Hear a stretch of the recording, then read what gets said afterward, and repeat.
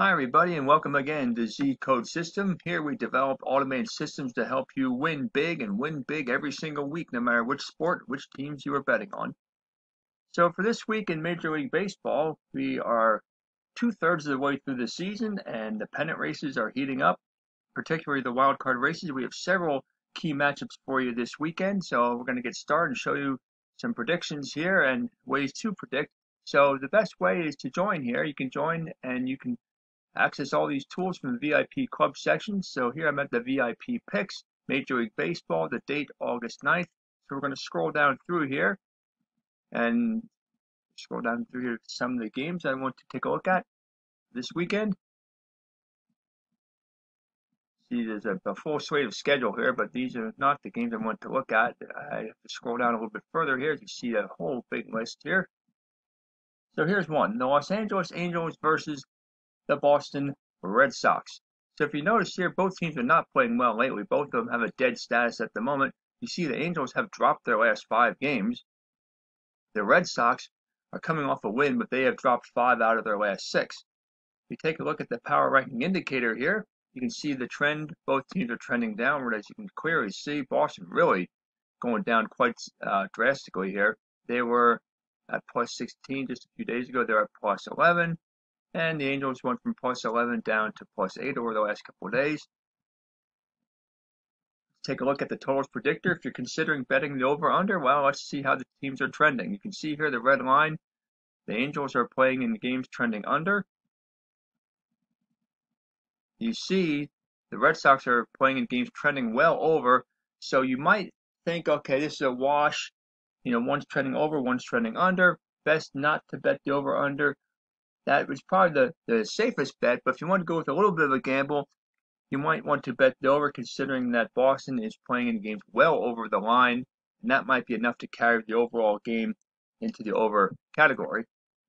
So let's take a look at some other things here that I like to look at to make the predictions. If you look at the volatility oscillator, you will see as far as stability goes, both teams are relatively stable and more stable as you see the lines are going upward. So what does that mean? That means that they're pretty well consistently winning and losing according to their favorite underdog status indicates. Boston is the overall better team. They are playing at home. I think they'll probably win the series. The best pitching matchup is Rick Porcello versus uh, Jaime Barria. Rick Porcello is has the best uh, numbers on the pitcher profit oscillator, and um, so he is the best bet in that one. Andrew Cashner is also a good bet this weekend for the Red Sox go with the Red Sox to win the series two games to one. If you take a look at the next matchup, which is probably the best matchup of the whole weekend, it's an AL Central battle between the second place Indians and the first place Twins. You can see both teams are in the average range right now. Indians average, the Twins average up. You see the Indians have won four out of their last six, although they're coming off a one nothing shutout against the Rangers. You see the Twins have won five out of the last six, and four in a row. If you look at the power ranking indicator between the two teams, you can see both are very high and both are have been stable lately. So you see Minnesota here is at plus 25, Cleveland's at plus 23. A good indication that both teams are playing very well. Look here at the totals predictor. If you're considering betting the over/under, you can see here for Cleveland they are currently playing in games trending over the red line compared to the blue line. You go down here, in Minnesota, they are also playing in games trending over. So the best bet here is to uh, bet the over and probably some really nice high scoring games if you like a lot of offense. Um, if you take a look here at the volatility oscillator, how stable are the teams? Well, you can see both teams are also very stable at plus 26 for the Twins and plus 23 for the Indians. So that means to pay close attention to the favorite underdog status. That is generally how both of these two teams perform. Now we're going to take a look at the pitcher profit oscillator. I, did, I talked about it in the last matchup, but didn't show it to you, so I'm going to show it to you now. So if we go to the pitcher profit oscillator. What you do is you can put the two teams in here. You see I have Cleveland and Minnesota, and I have the two starting pitchers. This is for Sunday's matchup, Zach Plesac against Jose Berrios. If you go down through here, you can see what kind of pitcher profit margin they have. Now you can see Plesac is a very is a small sample size. He has not pitched all that much, but you can see he is at plus 520. So he's in the green, which is what you want to see in the on the pitcher profit oscillator. And you can see Berrios up and down. He was a little bit well, he's always been the negative actually, uh, except for way back. He was briefly into the positive back in way back in 2016. But you can see right now he's at minus 530. So he is not the best bet if you want to consider strictly consider the pitchers. But overall, the Twins had the better team, and playing at home, they're very tough to beat. I think the Cleveland will put up a good fight. They will win one game, but that'll be it. Minnesota will take the series two games to one. Scroll down through here to a few more matchups. We got the Arizona Diamondbacks and the Los Angeles Dodgers, a nice NL West battle. Second place Diamondbacks, but they are 18 games behind the red hot uh, Los Angeles Dodgers for most of the season. Now, right now they're average down, but for most of the season they have been red hot.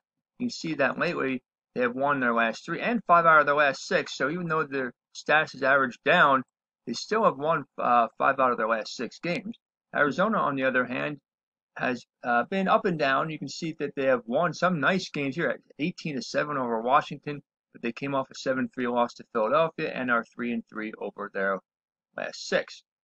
If you look at the power rankings indicator, you can see that the Dodgers are way up there among the best in the league at plus 27. Arizona is climbing from plus 6 as of August 3rd all the way up to plus 17. Let's take a look at some other things here. Let's take a look at the totals predictor. If you're considering the over-under, well, let's take a look. Arizona is playing in games trending over the line. The Dodgers are playing in games trending under the line. Most likely that cancels each other out. It's probably best to avoid the over-under in this series. How stable are the two teams? Well, you'd probably be not be surprised to see that the Dodgers are among the most stable teams, doing all the way up here at plus 36. They're very consistent. Uh, Arizona all the way down here at plus two. They're not very consistent. So that what this is going to mean is to think very highly and strongly about the favorite underdog status. The Dodgers are going to be the favorites in this weekend series, so that's a good indication to probably bet the Dodgers. If you're looking at the pitcher matchups, uh, neither Robbie Ray or Kenta Maeda are uh, profitable, both at minus 1700 and more than minus 1700 you know, below the line or, or in the red, I should say. So they are not good bets, and they are the matchups on Saturday. So probably best to completely avoid betting on that game strictly uh, by who's on the mound. Okay, you want to consider other other factors for that game.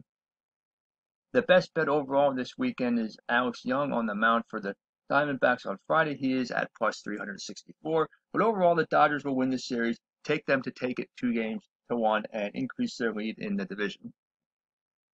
Scroll down through here. There are a couple more matchups I want to look at. We have Tampa Bay and Seattle now. So we'll go to Tampa Bay. They are burning hot.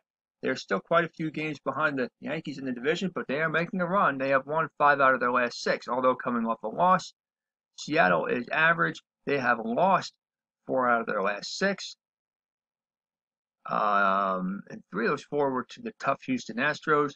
So now let's take a look at the power rankings indicator. You can see what's happening here. You can see that Seattle, after a downward trend, they're slightly back up. They're still only at plus six. Tampa Bay is at plus 26. They're clearly the uh, stronger team. If we want to consider the over-under,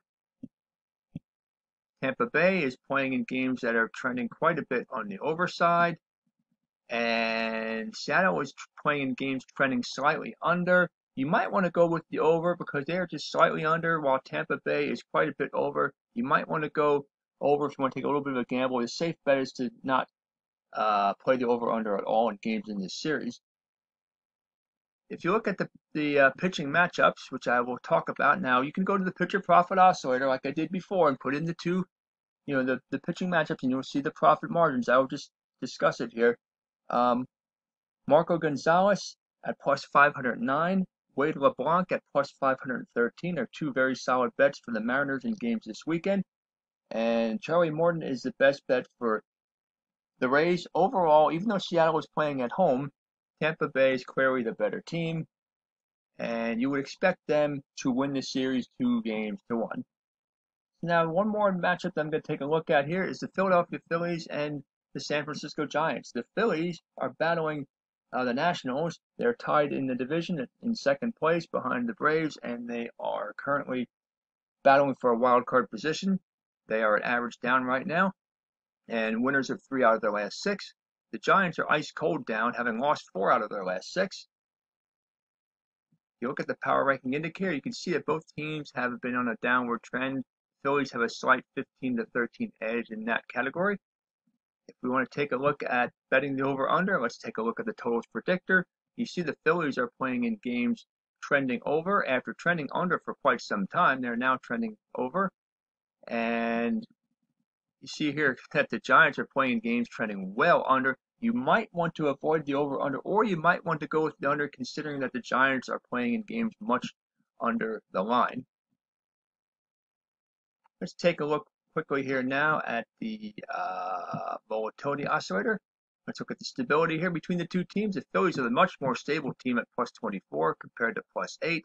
So take a look at the over on uh, over under the favorite underdog status, excuse me, the favorite underdog status for the Phillies in this one. Even though they're playing on the road, the Phillies probably will be favorites in at least one of the three games, maybe two.